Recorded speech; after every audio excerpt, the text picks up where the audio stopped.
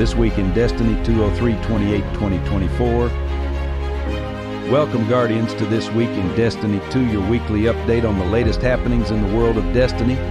I'm your host, and this week we've got a lot to cover from player support reports to known issues and everything in between. So grab your favorite weapon, settle in, and let's dive into the latest news. Player support report. First up, let's address a common concern among Guardians Riven's Wish tokens. We've received reports of players encountering issues with these tokens, specifically regarding their inability to spend all available tokens in their inventory. But fear not, Guardians, as we've thoroughly investigated this issue. It seems that in most cases, players have already spent the intended seven tokens and have inadvertently received an extra token from a previous week's quest.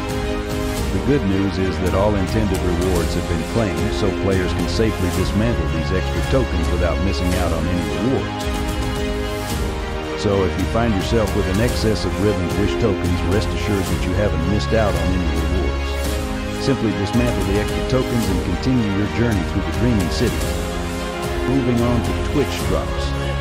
For those of you who enjoy watching Bungie live streams and earning rewards through Twitch drops, there are a few things to keep in mind. Firstly, ensure that your Twitch and Bungie.net profiles are successfully connected to qualify for Twitch drops. Once earned, drops must be claimed on Twitch before they appear in-game.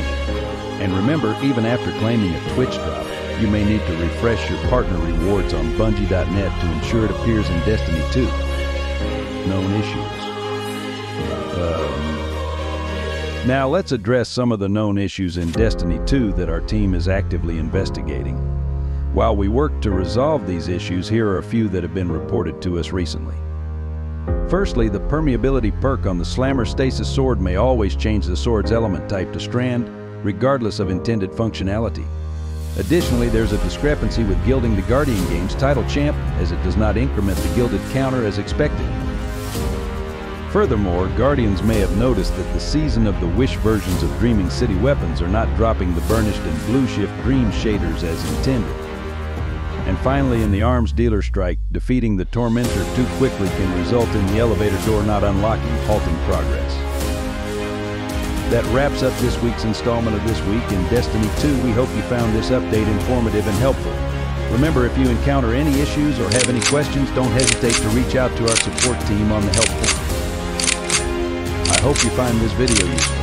If you do, please take the time to like, comment, and subscribe. Many of you are not subscribed videos more enjoyable or engaging, make sure you comment below. So last but not least, share this video to your mom, dad, sister, brother, and best friend.